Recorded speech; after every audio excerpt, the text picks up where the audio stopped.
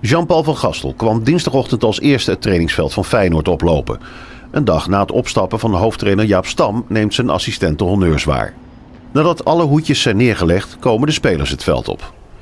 Ook assistent Said Bakati, die al sinds 2015 de rechterhand van Stam is, liet zijn gezicht zien op het trainingsveld. Bakati werkte bij Jong Ajax, Reading en PEC Zwolle met de gisteren opgestapte Stam.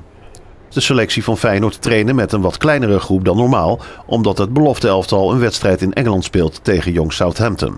Zondag speelt Feyenoord alweer een competitiewedstrijd. VVV Venlo is dan de tegenstander.